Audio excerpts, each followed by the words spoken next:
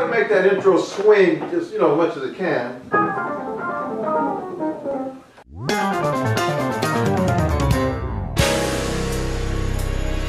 So I was also fortunate to be able to write a song with Larry Dunn, the original keyboardist with Earth, Wind and Fire. So he came over to my place uh, one afternoon and we just sat down and he starts playing and we're just kind of feeling each other out and neither one of us came in with any ideas.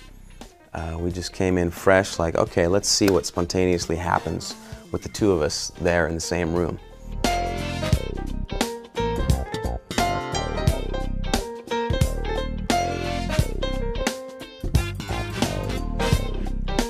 and I, I, knew something great was going to happen because, I mean, again, one of my you know heroes growing up, and he wrote so many of those hit songs as well.